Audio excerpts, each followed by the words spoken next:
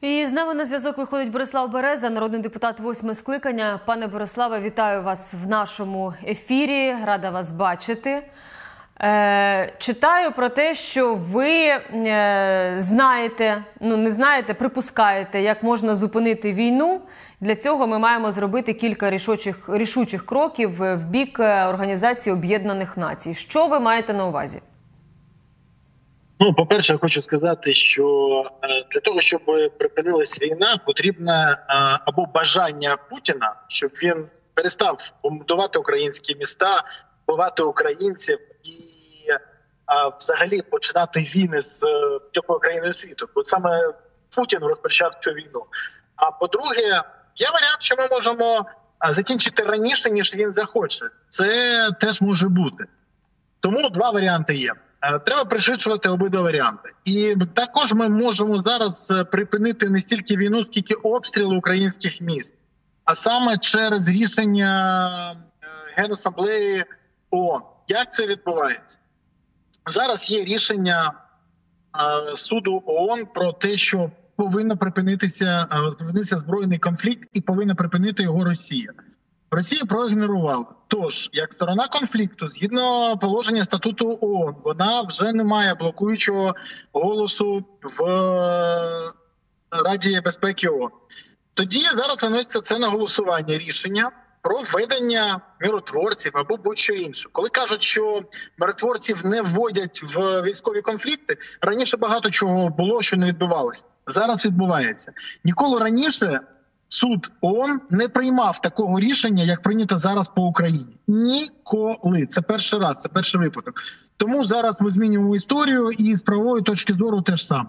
Тому вноситься на Радбез. Після того дивляться, як голосує Китай. Якщо він не блокує, тоді рішення зрозуміло і миротворці вводяться. Якщо не е, якщо Китай блокує, таке теж може бути.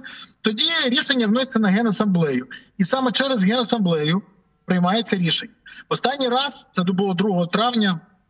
За проукраїнське рішення проголосувала 141 країна. Це ну я не пам'ятаю, коли останній раз стільки стільки країн голосували за Україну і за таке рішення. Такої кількості голосів не було ну дуже давно. Тому голоси зараз є. І зараз потрібно розпочинати цю історію. Потрібно вже а, приймати рішення про те, що тиск через ООН повинен бути доведений до миротворчої місії ООН. Скажіть, будь ласка, яка ваша позиція з приводу або ваше розуміння з приводу е, того, як буде себе поводити Білорусь? А, бо в соцмережах вже пишуть про можливе їхнє повномасштабне вторгнення з Волині. Е, вони там теж провели евакуацію своїх, як свого часу, 23 лютого, Російська Федерація зробила. Е, чи очікувати вторгнення звідти, що там Лукашенко собі думає? Вже завтра ми можемо очікувати вторгнення з боку Росії, з боку Білорусі. Вибачте, будь ласка, трохи втомився. Це інформація вважайте його майже офіційною. А є рішення Генштабу Білорусі про те, що завтра вони розпочнуть війну з нами. Під яким приводом це вкрай неважливо, але завтра це може розпочатися. Єдине, що може завадити цьому, це або народні протести, або масова відмова військових починати цю війну.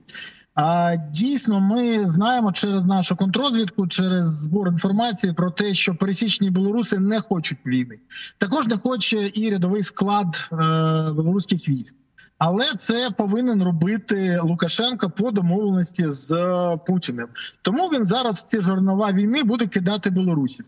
Можу сказати, ну гарантовано, що білоруси не обстріляні, не мотивовані, не мають бажання воювати з нами. Але якщо вони прийдуть до нас, ми будемо їх знищувати. І це позиція збройних сил України. А, Тому, якщо вони хочуть вмерти в Україні, вони можуть прийти і тут вмерти. Я би їм рекомендував або не починати цю війну саме рядовому составу, рядовому складу, вибачте, або здатися в полон, або дезертувати. За дезертирство їм дадуть якісь там 3-5 років. А якщо прийдуть в Україну, то це пожиттєво, але на кладовищі. Вибір за ними. А я можу сказати тільки одне: українська армія вкрай мотивована, сильна та має досвід, який вона може показати і не тільки на російській армії, а й на білорусах. Знищена вже Кантеміровська дивізія, знищена Таманська дивізія, Псковські десантники, Рязанські десантники, тіктокери Кадирова. Хто завгодно вже відгріб від нашої армії. Якщо білоруси хочуть війни, вони отримують домовини, які поїдуть в Білорусь з їхніми синами, з їхніми чоловіками, братами, батьками. Це буде вибір Білорусі. Якщо Білорусь цього не хоче, вона повинна виходити зараз е, на вулиці і змінювати владу. У них зараз є можливість отримати знов контроль за державою. А чи а не готові білоруси зараз до спротиву? От як ви вважаєте? Чи готові вони Це просто завтра виходити? Дивіться, це питання не до мене. Питання треба ставити інакше. Не готові вони до спротиву чи готові? готові вони ховати своїх діт- е, дітей, батьків, братів, чоловіків? Якщо готові, хай не виходять. Якщо не готові, в них немає іншого варіанту. Ще одне питання, яке стосується парламенту нашого Рада нацбезпеки і оборони призупинила діяльність в Україні партії, які мають зв'язки з Російською Федерацією. Е, Партія ОПЗЖ в парламенті зараз там 43 народних депутати. е, І поки що не знають, що з ними робити. В якому форматі вони тепер мають е, в якому форматі вони можуть продовжувати роботу в парламенті? Ну, в форматі в парламенті, якого ми можемо продовжувати. Ну мені дуже цікаво.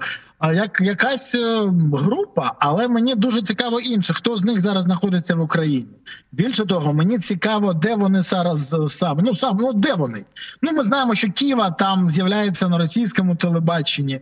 А, хтось вже перекинувся в Херсоні а, на бік окупантів. А де всі інші?